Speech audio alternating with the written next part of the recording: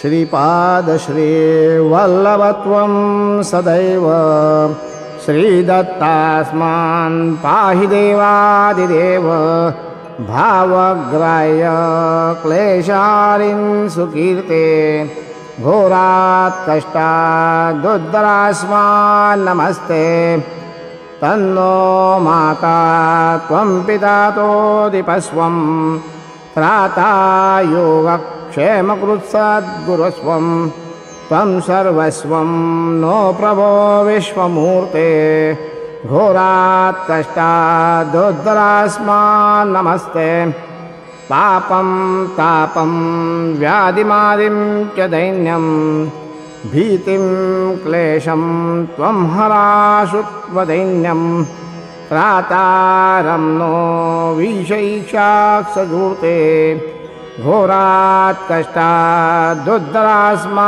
नमस्ते। नान्यस्त्राता नापिताता न भर्ता तत्तो देवत्वं शरण्योकहर्ता पूर्वात्रेयानुग्रहं पूर्णदाते।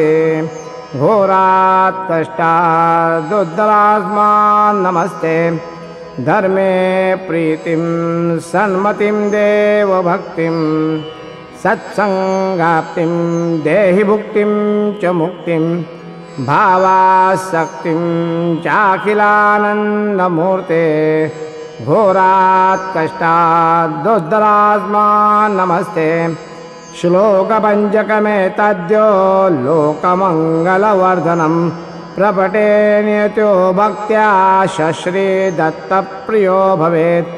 अवधूतचिन्तनश्रीगुरुदेवदत्त